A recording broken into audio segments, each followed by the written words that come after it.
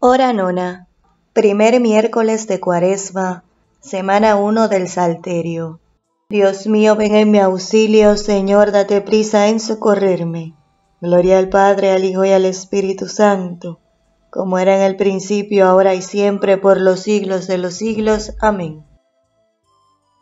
Himno. Ojos de aquel publicano, hasta la tierra caídos, el Dios de la luz os mira miradle con regocijo, mano que pide clemencia, hiriendo el pecho contrito. El Señor te abre la puerta de su pecho compasivo, lengua que en bajo murmullo dices tu dolor sentido. El juez que sabe juzgar ha escuchado complacido, Padre del octavo día, glorioso siendo propicio perdónanos, purifícanos, por el honor de tu Hijo. Amén. Acreditémonos ante Dios por nuestra constancia en las tribulaciones, por nuestra sed de ser justos. ¿Cómo podrá un joven andar honestamente? Cumpliendo tus palabras, te busco de todo corazón. No consientas que me desvíe de tus mandamientos en mi corazón escondo tus consignas, así no pecaré contra ti.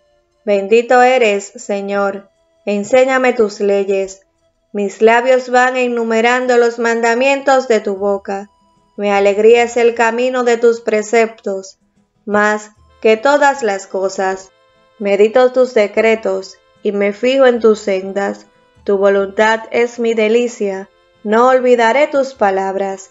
Gloria al Padre, al Hijo y al Espíritu Santo, como era en el principio, ahora y siempre, por los siglos de los siglos. Amén.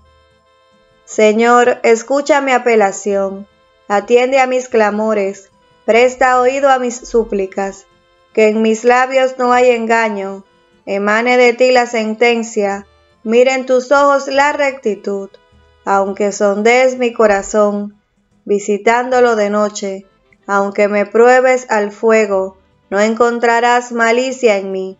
Mi boca no ha faltado como suelen los hombres. Según tus mandatos yo me he mantenido en la senda establecida. Mis pies estuvieron firmes en tus caminos, y no vacilaron mis pasos.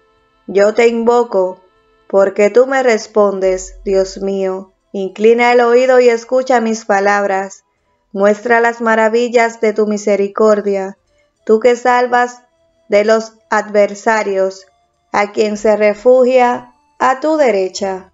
Guárdame como a la niña de tus ojos, a la sombra de tus alas escóndeme, de los malvados que me asaltan, del enemigo mortal que me cerca. Gloria al Padre, al Hijo y al Espíritu Santo, como era en el principio, ahora y siempre, por los siglos de los siglos. Amén. Han cerrado sus entrañas y hablan con la boca arrogante. Ya me rodean sus pasos, se hacen guiños para derribarme, como un león ávido de presa, como un cachorro agazapado en su escondrijo. Levántate, Señor, hazle frente, doblégalo, que tu espada me libre del malvado y tu mano, Señor, de los mortales, mortales de este mundo, sea su lote esta vida. De tu despensa les llenarás el vientre, se saciarán tus hijos, dejarán a sus pequeños lo que sobra.